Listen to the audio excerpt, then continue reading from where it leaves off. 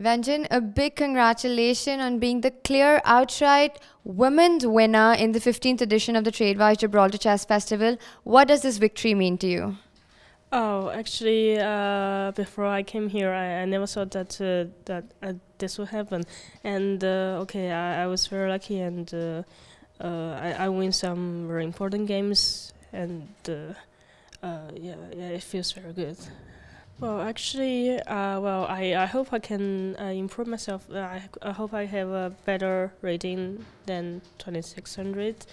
And because, well, I, I was still playing chess, so I wish I, I could have some improvements.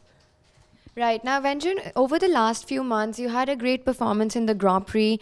We've seen you play brilliantly here.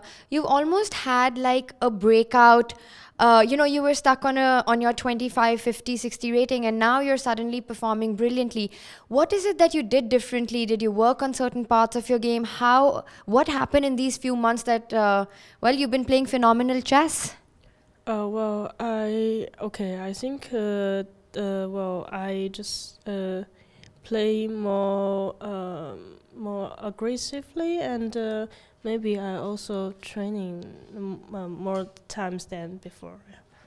So a lot more work you're putting into the game. Uh, uh, okay, for preparation it's still same, but the but during the day I stay at home, maybe more working.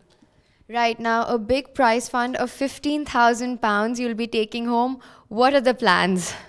Uh, well, actually, I, am about going to Tehran uh, just uh, within a week.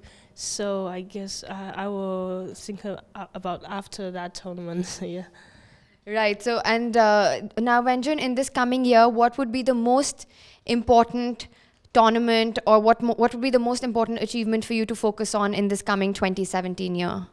Uh, well, uh, of course, it's a women world championship, and uh, uh, uh, for the later, th there's still not so many tournaments yet, so maybe I will focus on the Women World Championship. Right now, here at the open section, we've got a three way tie with Hikaru Nakamura, Yu Yangyi, and David Anton. I'm guessing you have a clear support for someone here? Actually, well, I think uh, they, they're both very strong player. Okay, okay, okay. Yang, he beats me, I'm upset about that, but still, he, okay, he's my friend. I hope he can win that. So, despite losing to him in the last round, you'll be rooting for him? Yeah, yeah, I'll be rooting for him. All right. Well, congratulations once again and wish you all the best for your future tournaments. Yeah, thank you so much.